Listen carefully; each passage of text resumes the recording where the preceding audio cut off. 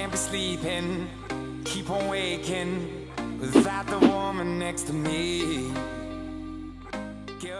First thing you want to do is prime your eyes to ensure that the mascara stays on all day.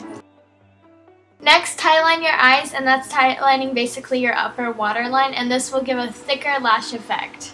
Next, you're going to want to layer mascara. So the first one I'm using is the NYC Big Bold Mascara, then the e.l.f. Volume Mascara, and the L'Oreal Telescopic Mascara. Laying mascara will help make your lashes look longer and thicker.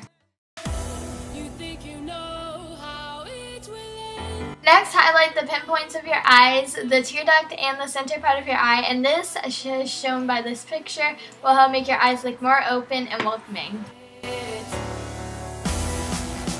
This is a really simple eye look and I have been wearing this every day since I filmed the tutorial five days ago.